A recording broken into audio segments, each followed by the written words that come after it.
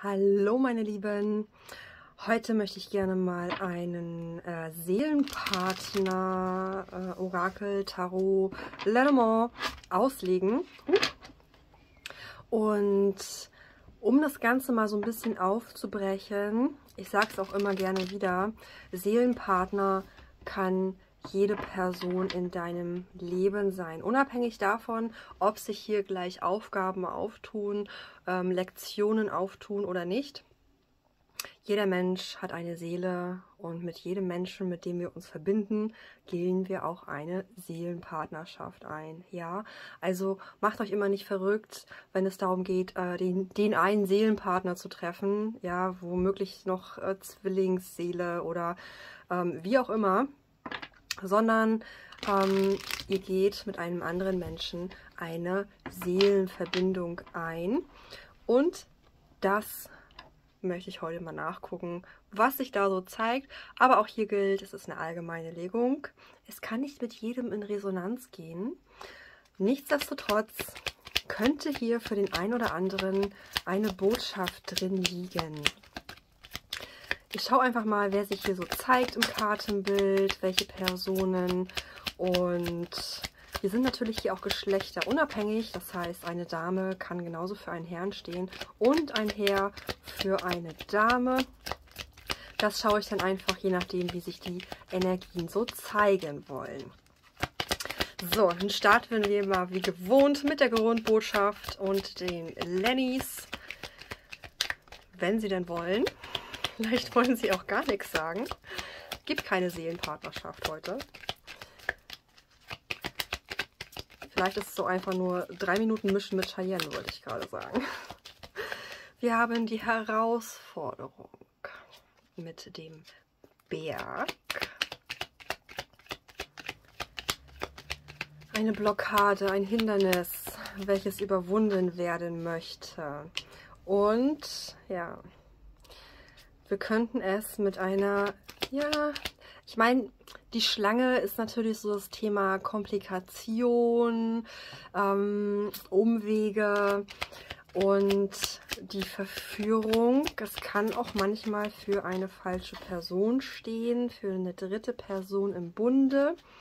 Aber es sieht so aus, als wenn diese Komplikation, diese Blockade sich auflösen möchte. Wir haben mal wieder den Schlüssel. Ja, also darf hier ein, ein, ja, eine neue Tür darf sich öffnen. Und der Schlüssel steht natürlich auch für Erfolg und Sicherheit. Du kannst eine neue Welt entdecken, ein neues Dasein entdecken. Und dementsprechend auch hier mit Treue und Loyalität, obwohl der Hund natürlich schon per se für das Seelentier steht. Oh, äh, die Seelenpartner steht auch, ja, tief ankern, fest verankern. Ja, der Anker, ich sage auch immer gerne so schön, der Heimathafen, der Platz, wo du dich festmachen kannst. Ähm, ein Ort, den du aber nicht in Anführungszeichen ähm, so fest verankert hast wie jetzt zum Beispiel ein Haus, sondern das ist eine, man muss es auch mal so sagen, wie es ist, es ist eine temporäre Angelegenheit. Und es kann auch durchaus mal sein, dass das Wetter rau wird. Das heißt, der Anker kann sich lösen. Die Frage ist dann, wie sehr bist du bereit, auch hier für die Liebe, beziehungsweise ihr beide bereit, für die Liebe zu kämpfen, dass ihr den Anker auch wieder festmachen könnt. Das heißt aber auch, mit dem Anker und wenn ich dann noch das Schiff dazu symbolisch nehme, ähm, ist es ein Ort, wo du dich festmachen kannst, der nicht, ähm, ja, jetzt fehlen mir gerade die Worte, wie soll ich das am besten ausdrücken? Ähm, du kannst überall ankern. So wollte ich das sagen. Du kannst überall ankern, du kannst überall einen festen Platz finden. Du musst nur mutig sein. dann natürlich die Herzen oder das Herz für die Liebe selbsterklärend. Und ich habe vom Boot gesprochen und da zeigt sich auch schon das Schiff. Ja, das Schiff ist natürlich, das ist ein Segelschiff, ist langsam unterwegs, wird vom Wind getragen. Und ich habe es auch gesagt, es kann auch manchmal Wolken am Himmel geben. Nun ist es aber so, ein Schiff lebt ja im Endeffekt vom Wind. Und so ein Donnerwetter, in Anführungszeichen, kann natürlich auch beschleunigen. Ein Donnerwetter deswegen, weil ein Donnerwetter auch für Klärung sorgt. Ja, wir brauchen gelegentlich ein bisschen Unwetter in unserem Leben, damit wir wieder erstens die Klarheit zu schätzen wissen und damit wir auch Klarheit wieder sehen können. Ja, das heißt, wenn hier die Wolken den Himmel versperren und Dinge eben im Unklaren sind, dann wäre es gut, diese auch in die Klärung zu bringen, damit hier auch wieder Ernte eingefahren werden darf. Also, hier ist auf jeden Fall eine Blockade, ein Hindernis, ein Umweg, ein Irrweg der sich auflösen möchte. Wie gesagt, wir haben hier das äh, Seelentier, den treuen Begleiter im Kartenbild. Wir haben hier eine Möglichkeit für dich und es, es fühlt sich so ein bisschen an, aufgrund der Kartenkonstellation, als, als wenn hier die falsche Person, und das soll jetzt nicht böse klingen, ähm, dass du die falsche Person bist für jemanden.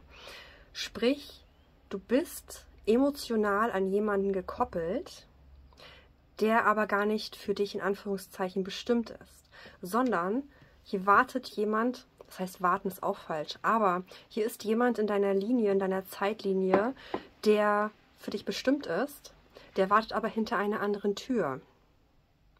Und der ist dann mit dir in der Lage, hier in die Liebe zu gehen und natürlich auch Blockaden unklare Dinge zu lösen. Und dann, dadurch kann es natürlich auch sein, dass du hier elendig lang in der Herausforderung bist, dich schwer fühlst, dich ähm, energetisch ausgelaugt fühlst, weil du die ganze Zeit einer falschen Person nachjagst. Und dadurch gehst du natürlich auch nicht mehr auf deinem, ja, dir schicksalhaft vorbestimmten Weg, sondern durch die Abwege, durchs Moorast, keine Ahnung, überall längs und du findest kein Ende. Das ist, als wenn du hier ähm, auf, dem, äh, auf der Bergseite so im, im, im Kreis läufst oder wie auch immer und du findest einfach nicht den Weg zur Spitze. Das ist, das passiert, wenn du einer falschen Person nachjagst aus, ja, vielleicht sogar Wunschvorstellungen heraus, die du dir im Kopf kreiert hast, weil die Person könnte ja so perfekt sein. Und dabei ist sie es aber, ist sie es gar nicht.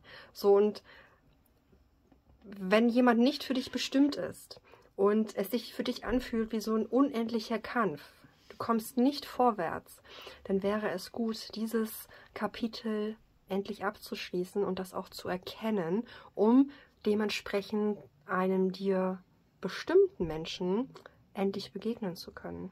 Ja, also alte Türen abschließen und rein in eine neue. Und du siehst ja hier auch, die neue Tür bringt Liebe mit. Die neue Tür bringt Stabilität mit. Die neue Tür bringt Treue und Loyalität mit. Die neue Tür bringt natürlich auch Klärung mit, gar keine Frage. Aber sie bringt Ergebnisse. Die hast du hier nicht. Wenn du dich hier durch, ja, durchs Moorast in Anführungszeichen schlängelst und nicht vorwärts kommst weil du einfach nicht ans Ziel kommst. Ja, es sind so falsche Ideologien, Wunschvorstellungen, das sind ähm, Sachen, Illusionen, die wir manchmal kreieren, weil wir denken, ach Gott, ja, das könnte ja so schön passen. Dabei passt es gar nicht. Ja, es ist eigentlich nur ein Schutz vom Universum, um dich vor Schlimmeren zu bewahren. Und so blöd es klingt, dann ist die Aufgabe die tatsächliche Aufgabe. Ja. Wir haben die fünf der Münzen.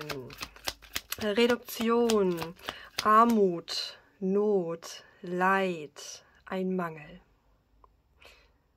Passt sehr gut auf das, was ich schon gesagt hatte. Es ist Zeit, jetzt aus diesem Mangel herauszukommen, mit dem Mond wieder den Blick auf deine Sehnsüchte frei zu machen und diese natürlich auch zu bearbeiten. Ja, deine Tiefe wiederzufinden und eigentlich auch herauszufinden, was möchtest du eigentlich wirklich? Möchtest du weiter hier einer falschen Person als falsche Person hinterherjagen, die eigentlich gar nicht passend ist für dich? Oder wäre es jetzt an der Zeit, deinem Schicksal Folge zu leisten? Der Mond zeigt deinen Seelenzustand. Oh, hier haben sich wieder zwei umgedreht. Dann haben wir die drei der Kelche. Ja, das ist Dankbarkeit, das ist Freude. Drei der Kelche ist auch so die Karte der Gemeinschaft, der ähm, Genesung auch, der Fröhlichkeit, der, ähm, der Zusammenkunft. Also es könnte sich hier sogar eine Feier ankündigen, wo Entschlu äh, Entschlossenheit entsteht, kreiert wird. Dann haben wir die 8 der Stäbe und dahinter die 7 der Stäbe. Ja, entweder habe ich sie nicht gut genug durchgemischt oder die haben sich so hingeschmissen. Aber es soll jetzt einfach so sein. 8 der Stäbe. Da haben wir zu tun mit deinem Einklang. Acht der Stäbe sind Neuigkeiten, ist Beschleunigung, die reinkommt. Ähm, kann aber auch manchmal so ein bisschen den, den äh, äh, Schwebezustand beschreiben. Das heißt, du bist so ein bisschen in der Schwebe. Ähm, kann auch manchmal ein bisschen Stress bedeuten, Überforderung. Nichtsdestotrotz steht sie für gute Nachrichten, die reinkommen. Ja, also wir haben hier mögliche Feier liegen, gute Nachrichten, die sich daraus ergeben. Und dann haben wir mit den sieben der Stäbe im Endeffekt deine Tapferkeit, deine Selbstbehauptung. Und ähm, ja, auch so ein bisschen ähm, die Aufgabe, oder das symbolisiert diese Karte auch, so ein bisschen die Mutlosigkeit ähm, aufzu, ähm, äh, Mutlos Mutlosigkeit zu überwinden und auch, ja, vielleicht sogar Neid und Missgunst. Ja, es geht darum, ein bisschen die Moral, auch ähm, die eigene Moral zu reflektieren und auch ein bisschen zu überdenken. Weil mit Neid und Missgunst, weil du vielleicht denkst, du wärst die richtige Person, aber eigentlich bist du es nicht, wirst du auf jeden Fall nicht aus diesem Mangel rauskommen, sondern es möchte hier in die Fülle gehen. Wir haben mit dem Kelchkönig die Situation, und das passt ja schön, dass es unter dem Herz liegt, Kelchkönig ist eine gefühlsklärende Person. Ähm, ich empfinde das eher als äh, die Energie hier der, also deiner Energie, und zwar, dass du in diese Gefühlsklärung reingehst, ja, die Selbsttherapie, das Reflektieren deiner Ansprüche, das Überschauen und das Anschauen deiner Träume, deiner Sehnsüchte, um einfach auch wieder einen klaren Blick zu bekommen. Aber dafür musst du halt einfach auch in dich gehen und schauen, ähm, wie du da wieder Ausgleich schaffst mit der Mäßigkeit. Ähm, die Mäßigkeit ist ja die Waage. Quatsch. Mäßigkeit ist der Schütze. Warum sage ich denn gerade Waage? Also, die Mäßigkeit steht einfach für Ausgleich. Dinge stimmig zu machen. Ähm, die Versöhnung mit deiner Vergangenheit, Vergängliches auch gehen zu lassen und dich nicht mehr mit Altlasten rumzuschlagen. Dann haben wir die vier der Schwerter. Und die vier der Schwerter ist so ein bisschen der Stillstand. Da geht es um die Besinnung. Kann auch manchmal ein bisschen für Erschöpfung stehen. Allerdings sind die vier der Schwerter auch wunderbar, um seine Gedanken neu zu ordnen und ja, dich bereit zu machen für deinen neuen Weg. Was möchte sich denn noch zeigen? Die Justice. Jetzt haben wir aber die Waage. ja, so schnell kann es gehen. Ähm, die, die Gerechtigkeit ist einfach die Verantwortung, die du jetzt für dein Handeln übernimmst. Ja, das ist die Reife. Das ist dein Gesetz. Wie gesagt, wir hatten das Thema ja moralische ähm, Vorstellungen ähm, überdenken. Gesagt, wir haben das Thema Illusion kreieren so ein bisschen hier drin liegen. Und jetzt fällt hier auch noch das Judgment und das Gericht. Und dabei geht es um Erlösung und Erneuerung. Auferstehung, Ablösen der Vergangenheit und natürlich auch die Offenbarung. Und das passt so ein bisschen mit rein, weil es geht auch darum zu klären. Dann fallen hier die vier der Kelche. Und die vier der Kelche sind in dem Moment gar nicht so verkehrt, weil das ist eigentlich auch nochmal ein Stillstand, ein Rückzug. Das ist das, was hier bei dir in der Tiefe für Blockaden sorgt, darf hier dementsprechend angeschaut werden. Das ist so dieses Sattsein, dieses Nichts fühlen, ja, weder negativ noch positiv. Das ist so Stillstand, Rückzug. Aber auch wohlwissend, dass da schon jemand im, im Hintergrund ist, der unterstützend ist. Das heißt, es kann durchaus sein, dass hier auf der Feier erstmal ein Mensch auf dich zukommt, der wirklich erstmal nur ein Freund ist und dir dann zeigt, wie du deinen Anker wieder festmachen kannst. Ja, vielleicht ist dein Anker gerade lose. Und ähm, das Tau, das schwimmt so im Wasser rum. Und jetzt hast du jemanden, der dich unterstützt, der dir zeigen kann, wie du einen neuen Knoten an deinen Anker machen kannst, um ihn wieder ja, um dein Bötchen auch wieder festmachen zu können. Und das ist eben das, das Unterstützende auch vielleicht sogar für diesen Menschen in deine Richtung, damit du wieder lernst, selbstständig zu sein, ein Individuum zu sein und dich aber damit auch zu integrieren, ja, zusammen zu wachsen.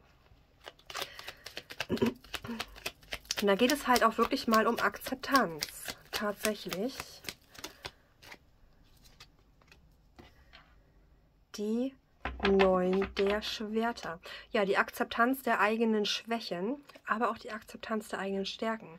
Und das möchte ja gerne beleuchtet werden. Weil es geht ja nicht nur bei den Sehnsüchten und deinen Träumen darum, was möchtest du gerne in der Zukunft alles erleben, sondern es geht auch darum, dich anzuschauen und in dich hineinzugucken, zu horchen, zu fühlen, was Wer bist du? Wie definierst du dich? Wie möchtest du dich in Zukunft definieren? Ähm, und das ist aber auch nur eine Sache von temporärer Zeit. Das heißt, du kannst dich auch in fünf, sechs Monaten dazu entschließen, wieder anders zu denken. Das ist aber dein gutes Recht. Aber allein das anzuerkennen, erstmal eine gefestigte eigene Meinung wieder zu entwickeln, könnte hier eben die Aufgabe sein. Neun der Schwerter, und da haben wir die innere Aufarbeitung. Ähm, die Angst anzuschauen, ja, und natürlich auch die inneren Auseinandersetzungen zu lösen. Neun der Münzen. Ja, und da haben wir so ein bisschen das Thema, wer möchtest du sein? Weil zum einen bedeutet es, ähm, dass du verborgene ähm, Talente entdeckst und ja, plötzlich auch die Ergebnisse deines Schaffens merkst. Da bin ich gleich gespannt, was hier noch fällt, ähm, weil das kündigt sie nämlich schon an, weil sie steht auch für, ähm, für eine Anerkennung, für einen Glücksfall, für dein Geschick. Das heißt, du merkst in dem Moment, wo du dich von einer Altlast löst, kannst du hier plötzlich in die Aktion treten. Denn der Ritter der Münzen steht für Verlässlichkeit, steht für Ausdauer. Der Ritter der Münzen, der zeigt auch eine Konsequenz auf. Ja, und ähm, der zeigt auch auf, dass sich harte Arbeit auszahlt. Das heißt, wenn du an dir arbeitest und auch bereit bist, an dir zu arbeiten, dann führt das Ganze natürlich schneller als Konsequenz daraus in die Liebe. Es liegt im Endeffekt an dir, wie viel Liebe du in dir wachsen lassen möchtest. Ja, weil Liebe kann nicht von einer anderen Person in dich reingesetzt werden. Liebe kannst du nur in dir wachsen lassen.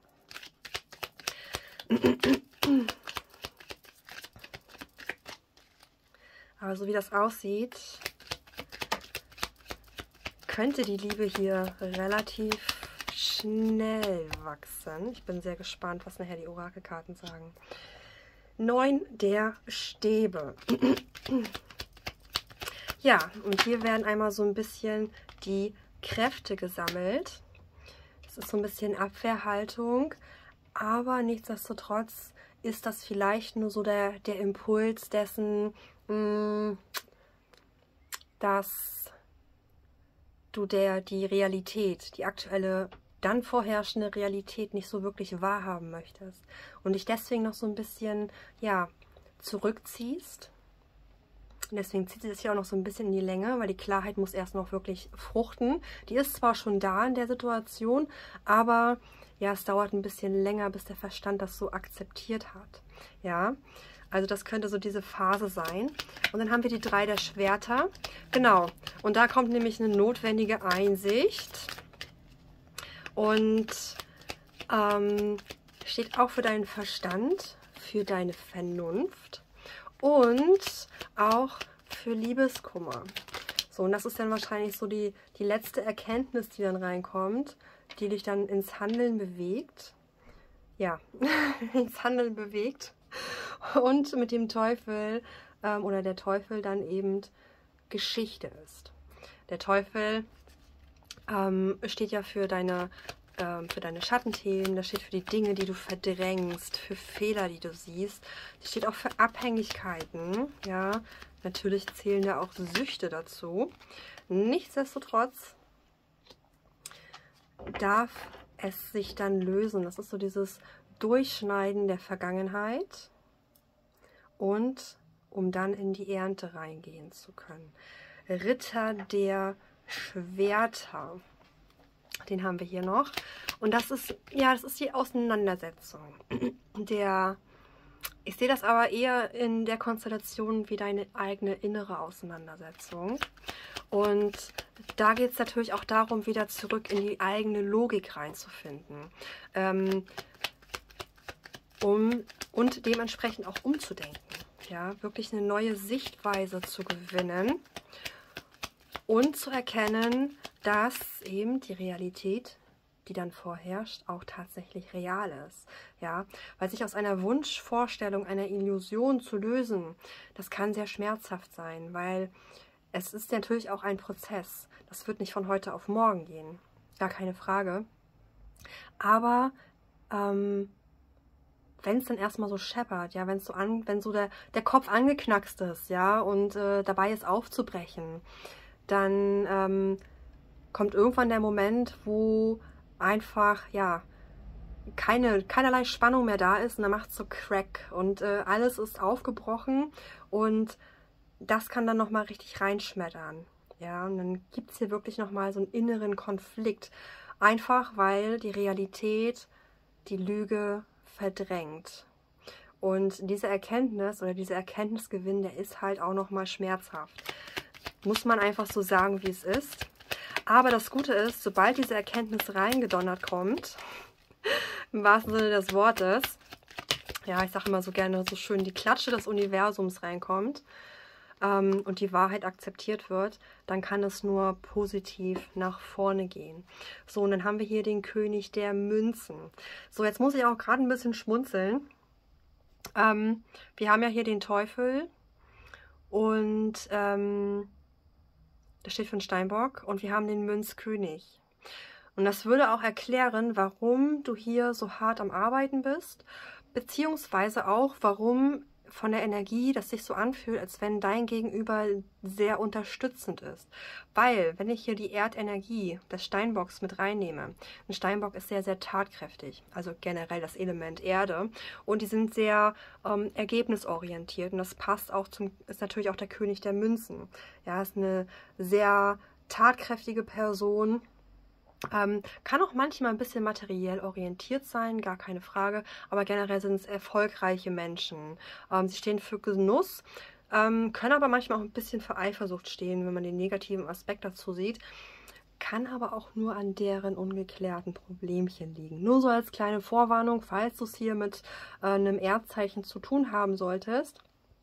Ähm, wir haben natürlich auch den Kelch König hier liegen, wenn ich das jetzt auch nochmal als, ja, nehmen wir mal männliche Energie ähm, liegen habe, weil meistens sind es ja nur mal so, dass wir das Frauenlegungen schauen und auf Männer schauen.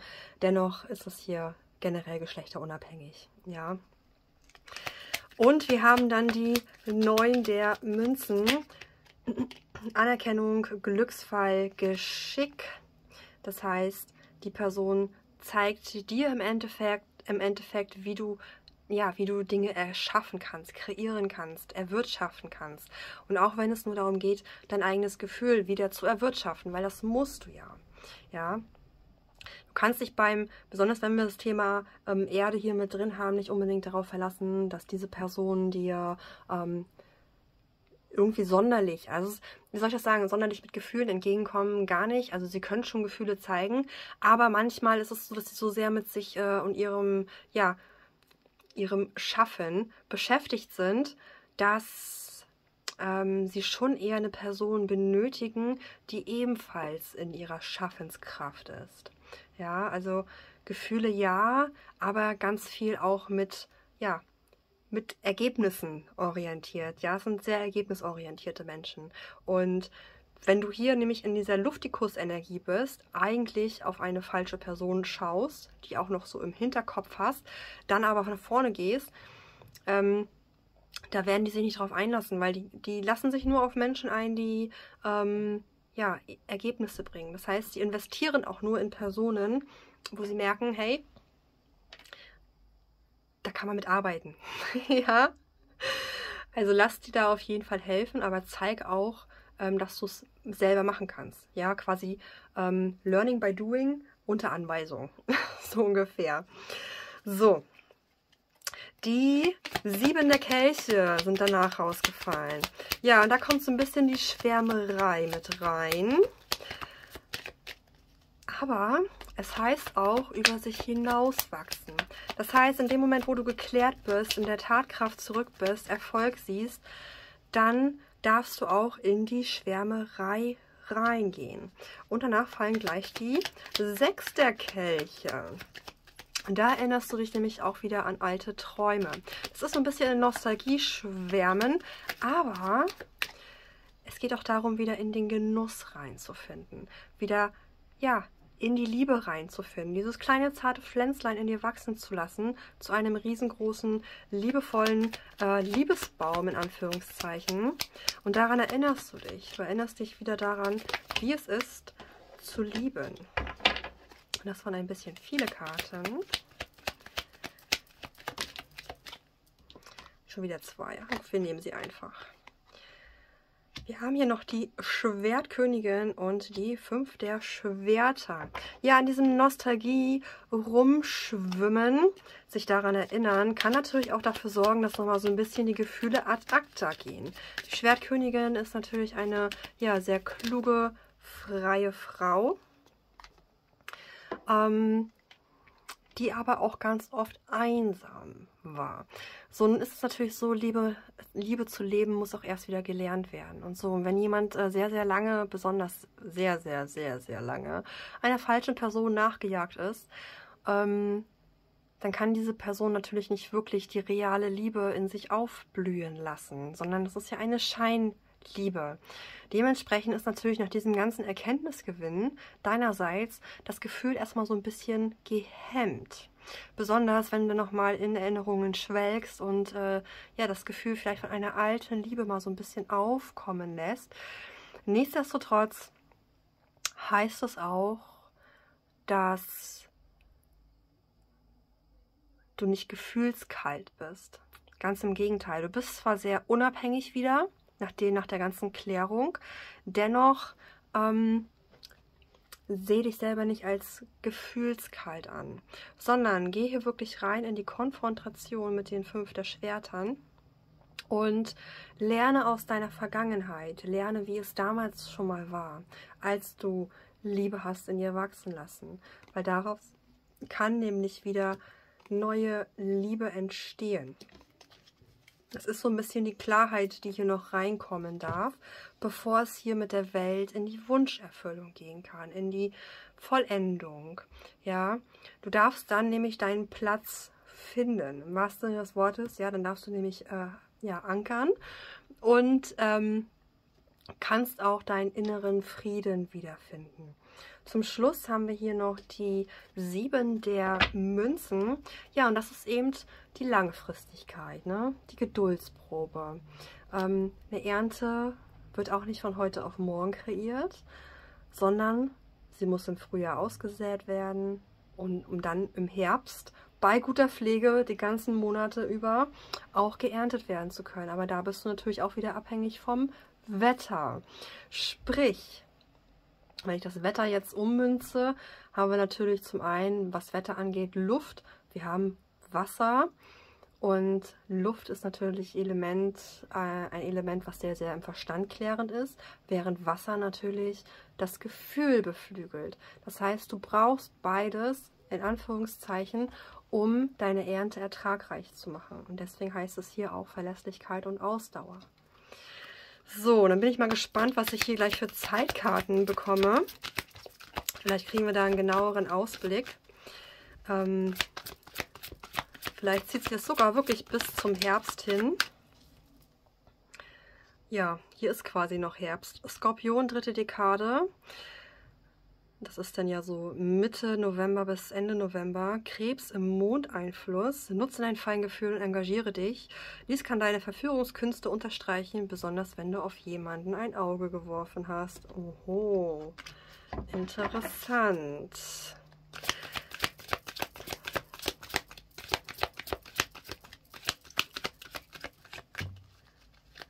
Also zeige Einsatzbereitschaft, um an dein Ziel zu kommen. Was möchte sich dann noch zeigen?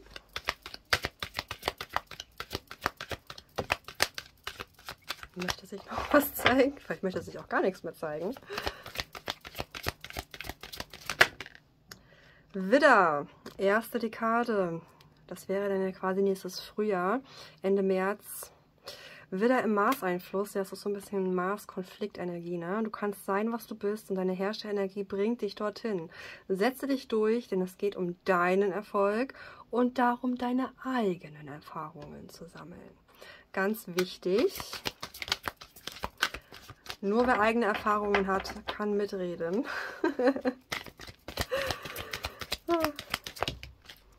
Ja, das sind ein bisschen viele, aber ich nehme mal die oberste. Fische. Oh, sehr schön. Dritte Dekade. Das wäre dann, ist ja fast, ja, ist ein Ticken früher, ist genau davor. Mitte März bis Ende März, Skorpion im Pluto-Einfluss. Deine Entschlossenheit und Willenskraft ist dein Treibstoff, um alle Pläne in die Tat umzusetzen. Du spürst, wo es lang geht und wie du mit deinen Mitmenschen umgehen darfst.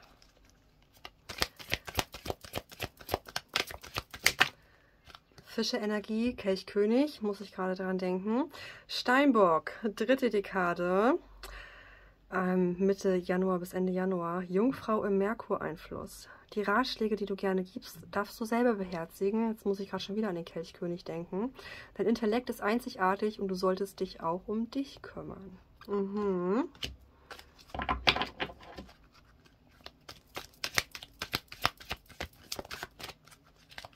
Und zwei hätte ich gerne noch, liebes Universum. Oh, es dreht sich sogar gleich zwei um.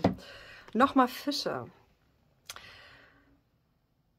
Mitte bis Ende Februar. Träume nicht dein Leben, sondern lebe deinen Traum. Tagträume erschaffen Illusionen und Frustration. Verschwende deine Energie nicht, weil du die Ängste anderer Mitmenschen spürst, sondern lerne zwischen ihren und deinen zu unterscheiden. Ja, Illusion, Tagträume, Frustration langer, beschwerlicher Weg. Und dann haben wir hier nochmal den Krebs in der dritten Dekade, also Mitte bis Ende Juli. Fische im Neptun-Einfluss. Eine Illusion... Eine Illusion zu leben bedeutet die Realität zu leugnen.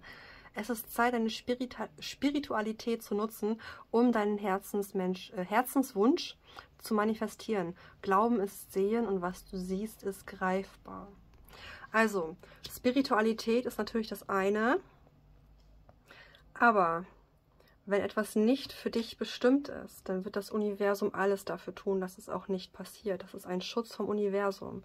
Und letztendlich bedarf es nur deiner eigenen Einsicht, das auch zu akzeptieren, die Realität zu akzeptieren. Weil in dem Moment, wo du die Realität wieder wahrnimmst, bist du auch wieder in der Lage, klar in deine Sehnsüchte reinzugehen, wieder auf deine Intuition zu hören, auf dein Bauchgefühl zu hören, um dementsprechend auch wieder in eine für dich bestimmte Manifestation reinzugehen. Weil sobald das Falsche raus ist, ist der Weg frei. Alle Infos zu den Kartendecks, zu meinen Lennys, die könnt ihr bei mir auf der Homepage kaufen und natürlich auch das Tarot-Deck, aber das ist nicht von mir, sondern ähm, das ist ein, ähm, gibt es bei Etsy. Ich packe alles in die Infobox auch, wo ihr meine Armbänder äh, direkt kaufen könnt, beziehungsweise auch eure eigene persönliche Legung buchen könnt. Falls euch das gefallen hat, lasst mir gerne ein Like da, lasst mir gerne einen Kommi da. Wenn ihr mögt, dürft ihr mir auch gerne folgen, würde ich mich sehr, sehr drüber freuen. Ja, und ich würde sagen, bis zum nächsten Mal vielleicht. Ansonsten noch einen schönen guten Morgen, guten Tag, guten Abend, gute Nacht, wann auch immer du dieses Video siehst. Bye, bye.